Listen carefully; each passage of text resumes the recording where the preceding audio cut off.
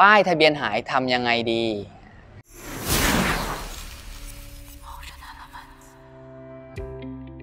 สวัสดีครับ วันนี้พบกับผมเสี่ยวต้อมอัมโฮมคาผมมีสาระน่ารู้มานำเสนอครับวันนี้สำหรับลูกค้านะครับ ช่วงนี้ฟ้าฝนตกบ่อย แล้วก็บางลูกค้าบางท่านอาจจะสัญจรในไปในต่างจังหวัด หรือว่าไปในพื้นที่ที่มีน้ำขังและอาจทำให้ป้ายทะเบียนเกิดการหล่นหาย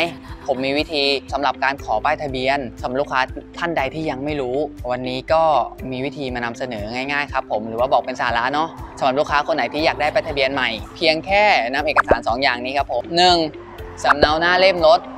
2. บัตรประชาชนเจ้าของรถ ไปติดต่อได้ที่ขนส่ง ในจังหวัดที่ลูกค้าได้ทำขึ้นทะเบียนกับ ขนส่งนั้นๆ ครับผม ค่าดำเนินการเพียงแค่ 100 บาทเท่านั้น ระยะเวลาเพียงแค่ 15 วันเท่านั้นท่านก็จะได้ป้ายทะเบียนใหม่ ไม่ต้องแจ้งความให้ยุ่งยากด้วยครับผมง่ายนิดเดียวสำหรับลูกค้าคนไหนที่ป้ายทะเบียนรถหายนะครับผมครับผมสำหรับใครที่ไม่อยากพลาดข่าวสารดีๆ สามารถติดตามได้ที่ Facebook อัมโฮมคาสาขาปลวกแดง หรือว่า YouTube อัมโฮมคาสามารถกดกระดิ่งกด Subscribe หรือว่ากดติดตามทุกช่องทางของเราอัมโฮมคาครับผมอย่างวันนี้ก็สวัสดีครับผม